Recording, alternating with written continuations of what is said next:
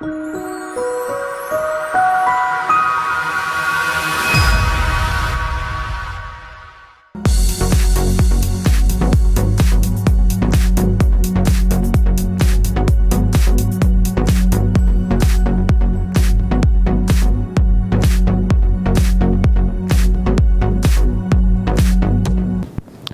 we search, we find, and when we research, we find something new. To throw some light on research, today with us we have Dr. Navin Kumar. Sir is currently employed with Amrita University and heading IEEE COMSOC Bangalore. To begin with, sir, kindly let us know what does research mean to you? Why is it so important? Thank you, madam, very much, and uh, uh, I thank you for inviting and giving this opportunity to interact the faculty and uh, student community at your university. Uh, yes, uh, research is uh, something which uh, now it has become passion for me. I enjoy doing it. I enjoy teaching the student and colleague to do research and it is very important it is important in the sense that uh, as you rightly said that research is finding something new coming up with some discovery and innovation. So we are the technology guy and we keep on doing develop the technology. So what happens is when this technology is developed we see that society will develop. And we want ultimately that our society should be developed and the living standard of people should go up and therefore we see that it is very important and the technology development is directly linked to uh, updation and you can say the upgradation of living standard of our society and in turn country and the world at large Sir, do you think every research should contribute something to society? Definitely. The research is about uh, uh, doing something which is and coming out a solution which is new. And when you have new, um, so the question is, in fact, why we do research. So some finding which comes out, it helps the scientific community, it helps the knowledge gain and it helps the incoming or following people to refer that uh, what is discovered and maybe take it forward towards the next next discovery. So it is directly linked to the society development. It is linked to scientific development. It is a contribution that you an individual makes to uh, to the scientific committee towards when he or she does the research work. It means we should have some societal com- component to be included when we are finding a research topic. Defin- definitely, yes. Uh, so when we do, we have to ask ourselves a question that why are we doing? Who are the end user and how they will be benefited? So, so the technology development is what? Technology, as we, I said, the technology directly linked to societal development, and societal development uh, in turn increases the living standard of the people. So, so this is the objective, and then we uh, we understand that which part of society or which uh, community of society or for which area of uh, uh, application my technology is being developed. So if we have this objective, then we are very clear that okay, this particular segment or this uh, area is what going to be benefited with our development. Sir, could you please highlight some points which we can consider while selecting research problem? Yeah, so research problem first thing we have to understand that if we are trying to address some problem so we need to identify actually uh, again like a end user how it will benefit the society how it will benefit the scientific com community and so on. If you have attended uh, the first session that we took uh, it is entirely around 3 hours that focus on how to define a problem right so we have we, we have some no shortcut of course we try to make it but we try to search what is available and uh, who are those people that they do uh, the similar kind of research and then we try to identify where where are the gaps available. And then we try to pick up that gap and try to address that problem.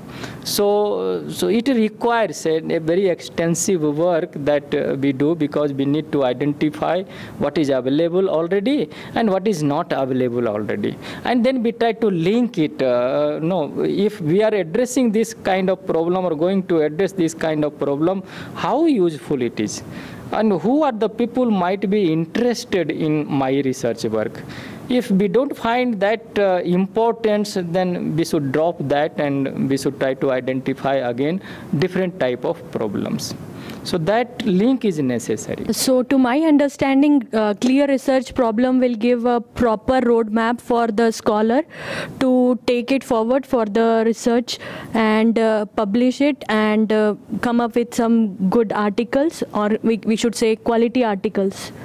Definitely yes. Uh, as uh, no proverb says that uh, the the uh, the definite problem is almost half uh, half of the solution you have it so if we define a clear problem then solution is available uh, and uh, if we address it systematically and uh, constantly uh, then definitely it will result into a good quality of research work and uh, no you can have publication you can have patent based upon what you have achieved and methodology that you have used it.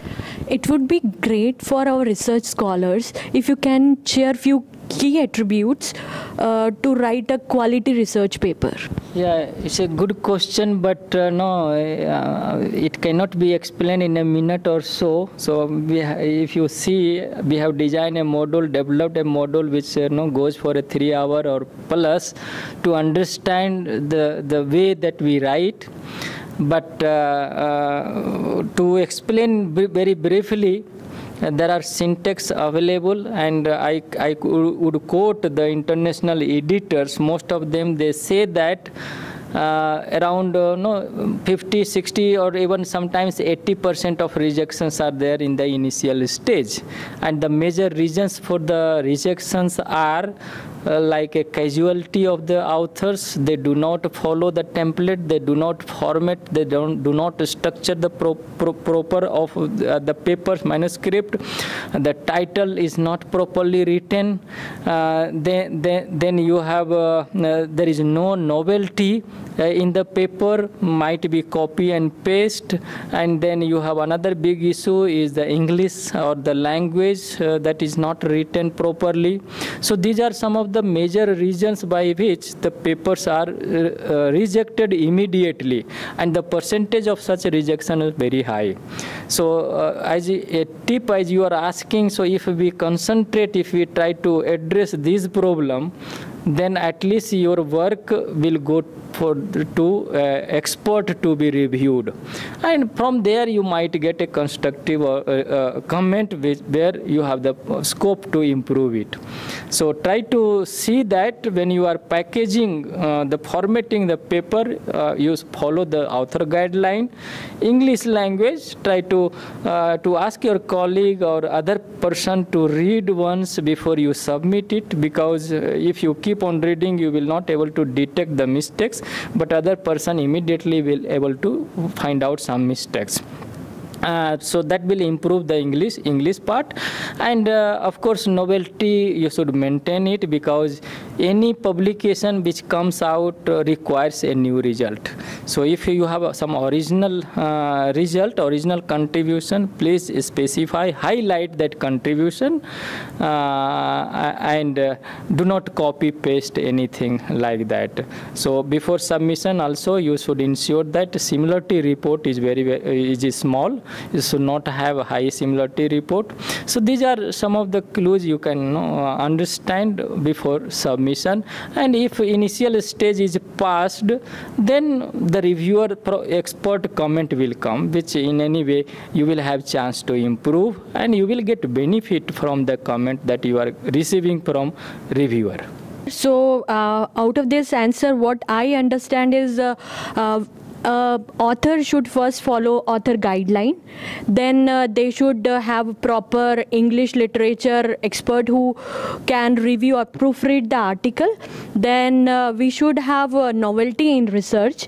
And finally we should follow the similarity index checker so that uh, we can assure that the content is not copied from anywhere Exact, exactly. Yeah. So these are some of the initial steps. However, there is no shortcut. Uh, we have to work hard uh, to bring up a paper and pu- publish it. So, so last question from my side uh, as a supervisor. So, how to keep our scholar motivated throughout the journey of research? Yeah, this is another very important that uh, that we have to ensure. Uh, now there are certain things that if we follow, then uh, we achieve.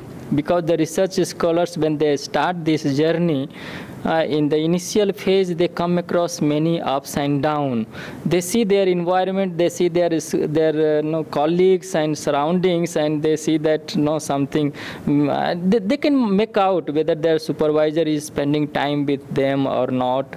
So first thing we have to do is we have to spend time with them and we have to tell in advance see these are the things will come to you in front of you.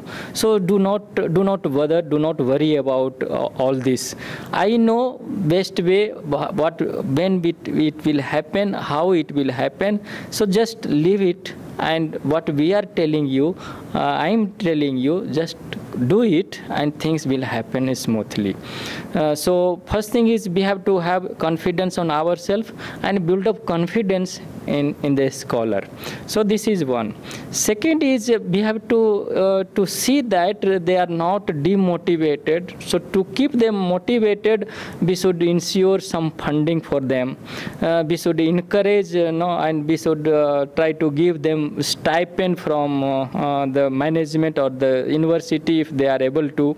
Otherwise, we should try to write a proposal to other agency, funding agency, on the on the work that they are they are going to do. So th- once they get some stipend and the funding agency, if they fund, then it is bound to because even not you or not the, neither the scholar, they cannot go away from. They have to work because they have been funded, and that uh, also gives a motivation. The third point is uh, when you start, uh, no, there is a way to no introduce them to the subject. Don't uh, no keep on telling them that you do this, you do this, you do this. No, it is that we explain them how to do it, how the best way to do to do it, and let us do it. So when you when you have such type of uh, no the, the the commitment and uh, explanation to them, they will feel that no professor is also with me. I am not alone. Professor is not telling that you do this. I want this. I want that. I want a publication in next three months. I want this. So so those things are actually a negative sign, and they are, they get demotivated if it does not come a publication and so on so in the initial phase then we start uh, encouraging them. When we see some new result then we say okay let us publish it. So maybe uh, it is not uh, going to be in uh, in the journal but it has a quality uh, by which we can submit to a conference paper. So if a conference proceeding comes out uh, with the quality then again they have the motivation and they continue. So so so these things if we maintain i think they they continue going what you are saying and they will be very happy and they will be motivated So I feel uh, research is a race which uh, a scholar as well as a supervisor both have to run together. But it is not a race. It is not a race. We cannot say a race. Uh, you don't compete something. You have your own definition of problem, and uh, you are trying to address that problem. You are not competing with anyone. Neither researcher, scholar, they are not competing with anyone. So we, we cannot say it is a race. Yes, it is a it is a long run journey, and smoothly how we sail through that depends upon. us. So uh, like in that journey both have to uh, Yeah, walk yeah. together. Work, work together, definitely, yes. Maybe sometimes in the initial phase you have to work harder than the scholar. And Yeah, that is right. true. That is true because they are new, they do not know, and uh, we have to work really harder as compared to a scholar. Yes. Thank you, sir.